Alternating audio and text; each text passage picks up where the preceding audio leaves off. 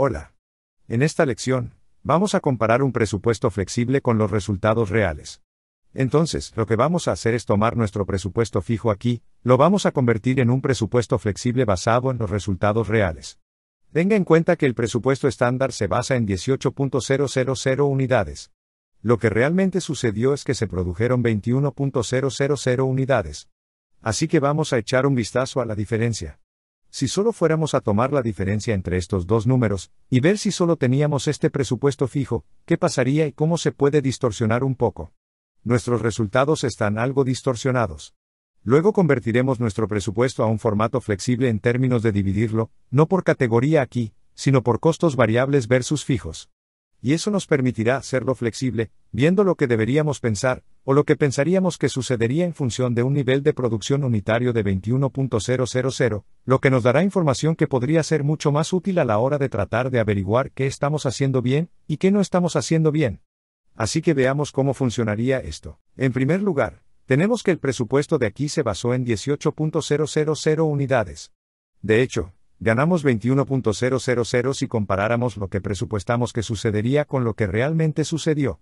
Voy a decir que esto va a ser igual, y voy a tomar el real, así que voy a tomar este número menos este número, y ahí lo tenemos. Así que las ventas, por supuesto, son más altas en 750, 3000 ahora de lo que se esperaría si, por supuesto, vendiéramos más unidades de las que las ventas aumentarían si tomáramos los materiales directos. Vamos a decir que este número menos este número significa que los materiales directos, queremos decir que usamos más en materiales directos. Ahora, si no lo hiciéramos, si no tomáramos en consideración el hecho de que fabricamos más unidades, podríamos estar diciendo, oh, nosotros, estamos por encima del presupuesto en materiales directos. Y, por supuesto, si realmente penalizamos a alguien como, ya sabes, alguien en el departamento de fabricación, diciendo, oye tú, estás por encima del presupuesto en materiales directos, ya sabes, eso sería injusto. Probablemente sería imprudente que lo hiciéramos, teniendo en cuenta el hecho de que producimos más unidades. Ese es el problema aquí. Realmente no podemos decir si el departamento de producción hizo un buen trabajo con los materiales o no, porque, por supuesto, va a ser el hecho de que tienen más gastos en los materiales que producimos más de lo que pensábamos que íbamos a producir. Así que tenemos que encontrar un número mejor para medirlo. Ese es el punto. Lo mismo, por supuesto, con todos los costes variables. Así que el trabajo directo ha terminado. Si tomamos la maquinaria, va a ser más de lo que pensábamos. Oye, todo está por encima del presupuesto. ¿Qué pasó aquí? ¿Hicimos un trabajo terrible? No, no hicimos un trabajo terrible, o no necesariamente. Realmente no lo sabemos, pero esperaríamos que todas las cosas de tipo variable estuvieran por encima del presupuesto. Ahora, estas cosas de tipo fijo, en términos de depreciación, se mantuvieron igual. Bueno, por supuesto, va a permanecer igual que su número total estimado que uno no va a ir que no va a estar por encima o por debajo. No cambia con el nivel de producción. Los servicios públicos tienen una parte variable. Los salarios de la gerencia de la planta deben ser fijos. Así que fíjate que uno es diferente, aunque sea un salario fijo. Así que eso es un poco inusual. Tenemos los dos, 2 millones 4 y el costo total menos este. Y ahí está eso.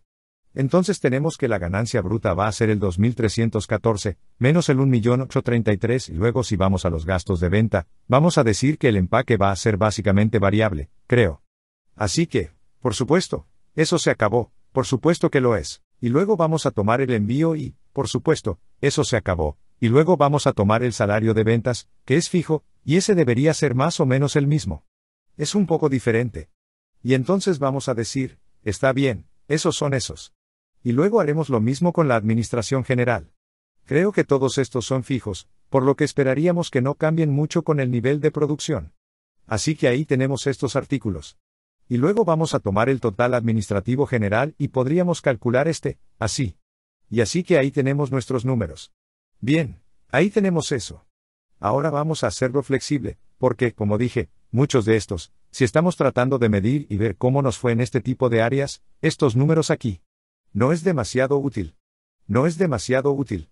Ahora, si tuviéramos que hacer esos números como esperábamos que sucediera en función de lo que realmente sucedió en términos de producción, entonces podríamos decir, está bien, ya sabes, la gente de materiales directos en el departamento de fabricación, hiciste un buen o mal trabajo, ya sabes, basándote en algo que es razonable. Así que para hacer esto, vamos a hacer algo similar a lo que hicimos en el problema anterior. donde lo vamos a desglosar por unidad para los costos variables. Vamos a desglosar el costo entre los costos variables y los costos fijos. Así que hagamos eso primero. Así que vamos a decir que las ventas van a ser como una cosa variable, ¿verdad? Y vamos a decir que van a ser las 272, 53.000, y se va a dividir por el número de unidades, en este caso, son las 18. Eso es lo que tomé. El número equivocado. Estoy. Rasca eso, rasca eso.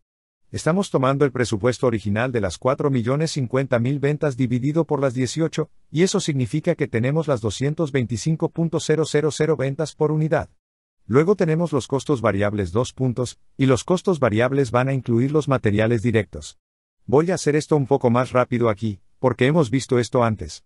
Van a ser los materiales directos. Y eso va a ser igual a este número dividido por las 18.000 unidades, que es el total por unidad, y tenemos la mano de obra directa. Así que esa va a ser esta pestaña. Digamos que esto es igual a este número dividido por este número, y anotamos y luego tenemos las reparaciones de maquinaria. Ese va a ser este de aquí, también variable, porque dice variable allí mismo. Así que vamos a suponer que es variable, aunque no esté tan claro. Y luego vamos a tomar los 90.000 divididos por el número de unidades, y tenemos 5 por unidad. Y luego los servicios públicos, que es así de gracioso, uno que es mixto, y tiene una porción variable de 72.000 del total de 230.2000. Así que vamos a decir que esto es igual a los 72.000 divididos por estos 18.000, es decir, 4 por unidad. Luego tenemos que empacar así entonces, por lo que eso significa que los honorarios de gestión de la planta no, no son variables. Voy a ponerlo en amarillo, y luego vamos a saltar aquí a la venta y los gastos, porque estos son subtotales, obviamente. Así que los gastos de venta, nos quedamos con el embalaje. El embalaje, ese va a ser variable. Así que voy a decir empaque. Esta es mi siguiente variable. Un nota, estamos de nuevo, los estamos agrupando, no por categoría, sino por el comportamiento de los costos aquí. Así que es esto dividido por aquello. Y luego tenemos lo que sigue, el envío. El envío, vamos a decir, también es variable. Así que voy a decir que el envío cambia con el nivel de producción, por lo que es variable dividido por los 18 que hay. Y luego creo que eso va a ser todo para la variable. Entonces tenemos el salario de ventas que es fijo. Tenemos subtotales y luego tenemos todos estos salarios fijos de publicidad y entretenimiento fijos. Así que voy a decir que son fijos, y luego podemos tener los costos variables totales aquí. Así que voy a seguir adelante y sangrar estos.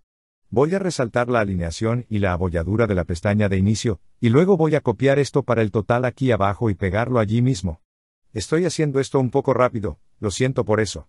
Y esos, esto va a ser total y variable. Y voy a deshacerme de los dos puntos de aquí, voy a volver a él. Voy a ir a la pestaña inicio. Vamos a sangrar dos veces y luego voy a resumir esto. Así que voy a poner un subrayado en el 8. Voy a ir a la pestaña Inicio e ir a la fuente, subrayarla y luego vamos a resumir aquí. Vamos a igualar la suma de todo el costo variable por unidad, que es el 60 por el 8. Y ahí lo tenemos. Voy a seguir adelante y subrayar esto. Voy a ir a la pestaña de Inicio, Fuente, Subrayado, y luego vamos a tener el margen de contribución, el margen de tribución. Y recuerden, ese es el que realmente no vemos en el estado de resultados financiero normal, pero lo vemos aquí cuando desglosamos el costo variable del costo fijo, muy importante para este tipo de estado, porque van a ser las ventas menos la parte variable. Y luego vamos a desglosar la parte fija, por supuesto, los costos fijos. Y voy a poner eso en la columna de costos fijos de aquí. Así que pon dos puntos junto a eso, y deberían ser todos los amarillos, los que hicimos amarillos. Y voy a hacer este. Ese también debería haberse hecho amarillo. Eso también va a ser amarillo. Así que vamos a decir, está bien, costos fijos, luego van a ser los amarillos. Así que ese va a ser este, y ese va a ser el 315, y luego tenemos los salarios de la gerencia de la planta, y ese va a ser el 230, y luego tenemos a este otro tipo amarillo aquí, que es el salario de las ventas de ensaladas, y ese va a ser el 260, va a desplazarse un poco hacia abajo para que podamos ver todo. Ver cosas es bueno. Y luego voy a ir aquí a la publicidad, y ese va a ser el 134, y luego vamos a ir al otro tipo amarillo que está aquí, casi hemos terminado con la gente amarilla aquí, y ese va a ser el 251, y luego vamos a ir al último tipo amarillo de aquí, el entretenimiento o la chica, y eso va a ser el 90.000 está bien, entonces voy a poner un subrayado debajo de los 90.000 voy a ir a la pestaña inicio, y voy a ir al subrayado de la fuente, y eso nos va a dar el total. Así que voy a sangrar estos. Vamos a resaltar estos, vamos a ir a la pestaña Inicio e ir a la alineación, sangramos una vez, y luego vamos a sumarlos. Así que voy a hacerlo. Copia esto. Va a ser el costo fijo total. Voy a copiar el costo fijo para no tener que escribir tanto. Y luego voy a ponerlo delante de el total, y luego lo voy a poner en minúsculas allí. Y no voy a venir una G, y luego voy a hacer que me deshaga de los dos puntos para entrar. Entonces quiero estar en la celda, no en la celda, y sangrarla dos veces. Dos veces.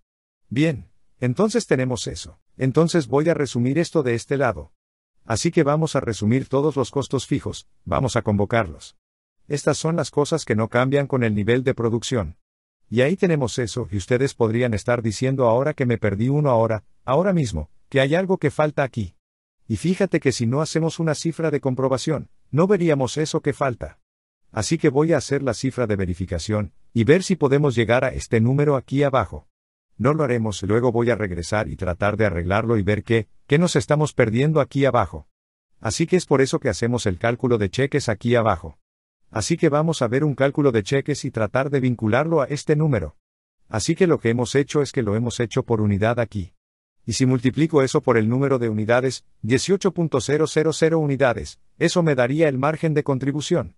Y la razón por la que no podemos hacer eso para el costo fijo es porque no actúan de la misma manera.